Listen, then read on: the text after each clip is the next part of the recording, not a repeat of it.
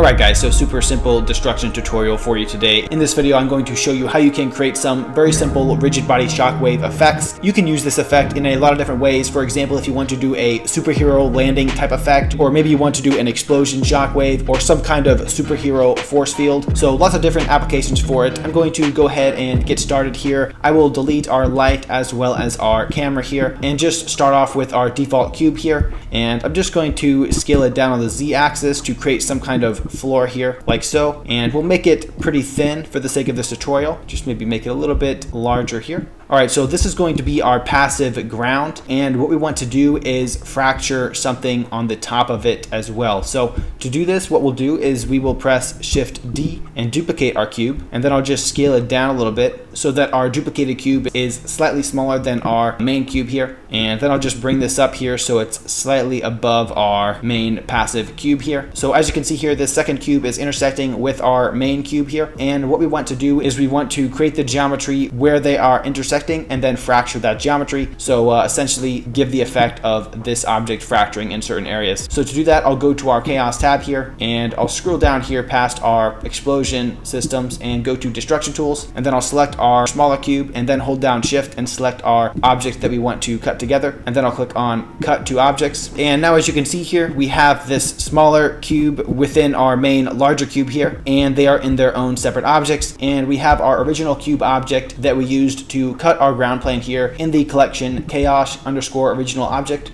So right here. And as I mentioned in previous videos, this is just so in case you have any errors with your rigid body simulations, you can just go back to the start of your project and deal with any glitches from the beginning. All right, so I'll just uh, select both of our objects here and just pull it off to the side of our scene. And uh, what I want to do is first make our ground plane here that is containing our other object and make it a passive rigid body so that the simulation interacts with it. So I'll just go here to add passive rigid bodies and I'll click on the complex option. So now this object will have rigid body traits applied to it so that when other rigid bodies collide with it, they will interact. And now what I want to do is I want to fracture this interior object here. So I'll go back to our KHAOS destruction tools tab here and I want to fracture this object using our annotation tool and cell fracture settings here. So I'll click on draw fracture place and then I'll just start drawing where I want the most uh, fractured objects to be and then go out from there. So I want most of our smaller fractures to be in the center of our interior object here, and then the bigger chunks to be out on the edges.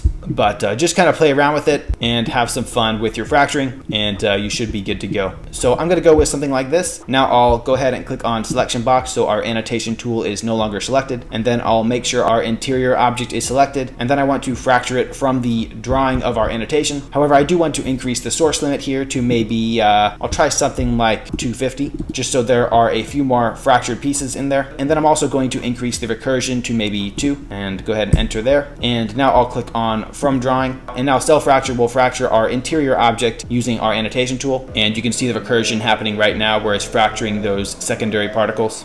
Alright, so now Cell Fracture has fractured our object and Destruction Tools has added it into our own collection with the label KHAOS-001, which comes from the name here. And if you ever fracture more objects in your scene, you have the drop-down menu here to select those fractured collections. So as you can see here, if we want to select our fractured object, we can just click on Select, while our drop-down menu here has the KHAOS-001 collection selected. And now we can turn all of these into active rigid bodies. So I'll go ahead and scroll down here to active rigid bodies and I'll click on add active. And now as you can see here if we play through our scene well nothing will happen and that's just because they're resting on our main uh, object here. But regardless we do want them to start deactivated so I'll go ahead and click on start deactivated. And we also can change the mass of our objects to a variety of different materials here. I'm going to leave it at brick for now but feel free to play around with these different materials and now what I want to do is create the shockwave effect. So to do that, what we want to do is we want to create an object that creates kind of an animated wedge going outward from the center of our fractured rigid bodies here over time. So a good shape for that would be something like a torus. So I'll go ahead and press Shift A. I'll add a mesh torus. And as you can see here, this is the object we're going to use to create our shockwave effect. I'll grab our object, move it to the center of our fractured object and just below the surface of it. Maybe scale it up slightly so we can see how we're looking here. And I'll just make sure we place it fairly nicely here. And what I want to do is maybe just uh, scale it up a little bit on the X and the Y axis so it's a little bit wider like so. And now we'll go ahead and animate this torus. So I'll go to uh, maybe frame 30 is where we'll start. I'll put our torus below our mesh here, click on I, add a location and rotation scale keyframe. Actually, I want to do this on frame 30. Move this over here. And now I'll go to frame uh, 32 when we want our shockwave to start. I'll press G, I'll grab our torus and I'll bring it up so it's hitting our objects here. Make sure it's intersecting with your fractured collection here. And uh, now we'll press I again, add another location, rotation, and scale keyframe. And at this point, we want to animate it moving outward. So maybe on frame 40, We'll scale it up here and I might scale it down on the z-axis so it's not protruding quite as much. Press I again, add another location, rotation, and scale keyframe. And now we have something like this. All right, so that's the basis of our shockwave. Now we need to make this torus an active animated rigid body. So I'll just go here to KHAOS Destruction Tools and click on Active Animated. And now as you can see here, if we play through our scene, we have a pretty cool looking shockwave effect. And uh, already I'm pretty happy with this result. Uh, we could of course make the shockwave go out further. So maybe frame 40 we just make it a little larger all the way out here. Press I again, kind of adjust it a bit. And there you go. That's how you can create a shockwave. I'm not quite done here, but uh, this is a pretty good start to our simulation. Uh, we could constrain our fractured objects here. So I'll go ahead and do that a little bit.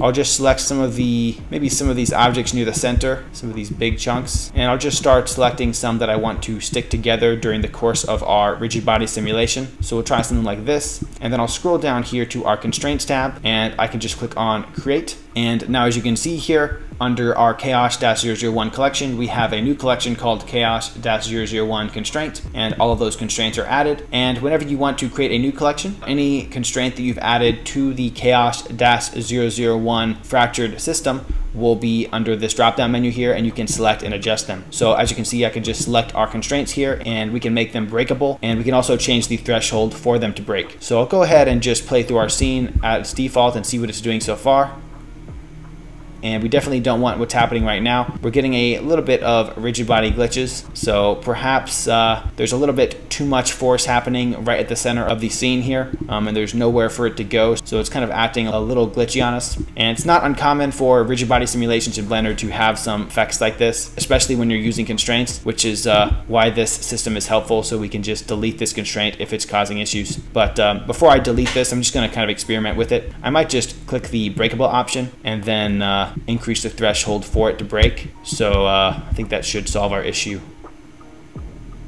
And there you have it. And now the objects restricted by that constraint are being held together up until a certain amount of force, and we still have a pretty cool looking result. And maybe we can actually increase the threshold here to 1000. Let's just try that out, see if that gives us a different result. So as you can see, now they're breaking at different moments in our simulation, which is uh, kind of a cool look. Perhaps we could also constrain some of these edge pieces to our passive rigid body floor here. So I'll go ahead and create a new constraint there and uh, we'll make it just a standard unbreakable constraint. And let's see if this uh, gets a cool result as well. All right, so still some glitches. So obviously this is why you have to experiment with different options. I didn't anticipate in this kind of glitching for this uh, simple effect, but uh, sometimes it happens. So I'll just make it breakable as well and see what we get here. Still giving us a little bit of problems there. So let's go ahead and just delete that constraint and maybe just constrain some of these objects together. Let's try this, create a new one.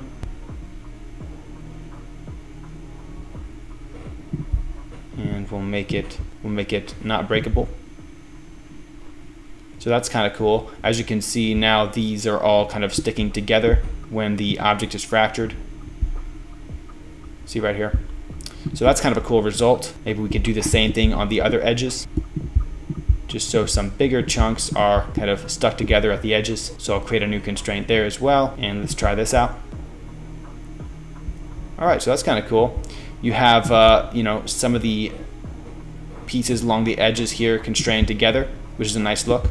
And uh, yeah, so I'm pretty happy with this result, regardless of some of our glitches we had at first. I think it's a pretty cool looking shockwave effect. But uh, yeah, I'm pretty happy with this result. Now it's time to add that small scale debris to really bring our simulation to life. So to do this, what I'll do is I'll find the moment where our rigid body simulation starts. So about, I'm gonna say about right here on frame 35. And I'll just select our uh, entire collection here. You can also select objects more specifically, but I think for the sake of this tutorial, we're going to emit small scale debris from all of our collection here. Then I'll just scroll up here to our main KHAOS tab and we can choose which debris we want to add as small scale debris. So for the sake of this tutorial, I'm just going to use the dirt option for really small particles and I'll just click on add debris on frame 35 and it won't look like anything has happened so far, but as soon as you play through your simulation once more, you'll notice that we have some small scale dirt on our simulation as well, which, uh, you know, is a pretty cool looking result. Obviously, our dirt is a little bit too big, so to solve this and make it smaller, I'll just select one of our debris particles with the particle system on it, go to the particle tab here. I will decrease the number of particles to say 100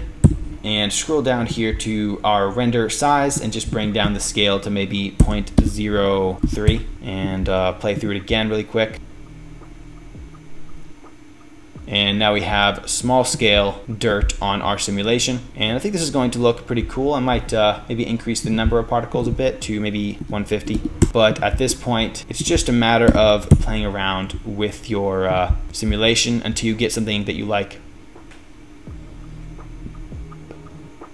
But uh, yeah, I'm pretty happy with this shockwave effect to bake our simulation so that you can render it out or maybe overlay it on top of live action footage if you've textured it properly. Uh, we could just go to our uh, particle system tab here with uh, one of our particle system rigid body selected and then I'll just go to cache and then I can just bake all dynamics and then Blender will go through all of your frames in your rigid body simulation and bake out the rigid body simulation as well as the particle effects. And there we have it. That is how you can create some pretty cool shock waves with small scale debris on the system. Of course, if you want to add more small scale debris, you can choose any of these debris systems and add them to specific rigid bodies in your scene as well if you want a little bit more variation. Also, if you want your small scale debris to interact with your main ground plane here, all you have to do is just go ahead and go to the physics properties tab and make it a collision object for particles. And then I recommend increasing the damping here a bit so that these smaller particles don't bounce awkwardly off of of this ground plane here, and then you'll just rebake your particle system from there. But anyways, guys, just a quick rigid body destruction tutorial for you today. I hope this video was helpful. As always, feel free to leave a comment if you have any questions or suggestions in the comment section below. Let us know what you'd like to see next on the channel, or if you'd like us to update anything specific in this add-on, we'd be happy to hear any recommendations there as well. I'll see you next time.